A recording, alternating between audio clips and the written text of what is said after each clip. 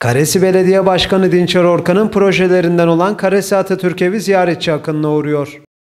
2021 yılı 10 Kasım'ında hizmet açılan ve Gazi Mustafa Kemal Atatürk'ün Selanik'te doğduğu evin benzeri olan Karesi Atatürk Evi'ni bir yılda 73 bin kişi ziyaret etti. Atatürk'ün ebediyete intikal edişinin yıl dönümü olan 10 Kasım nedeniyle Karesi Atatürk Evi'nde anaokulu öğrencilerinin katılımıyla anma töreni düzenlenirken gün boyunca ziyaret edenlere ise Gazi Mustafa Kemal Atatürk'ün kaleme aldığı Nutuk adlı eseri hediye edildi.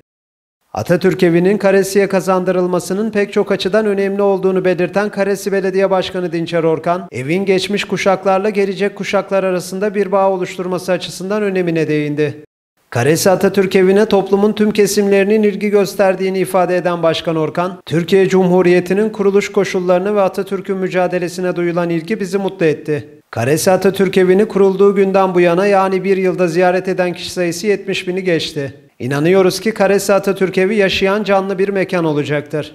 Dilerim Karesi Atatürk Evi sayesinde Balıkesir'imize ve Karesimize değer katmayı başarmış olduk ve vatandaşlarımızın teveccühüne nail olmuş oluruz dedi.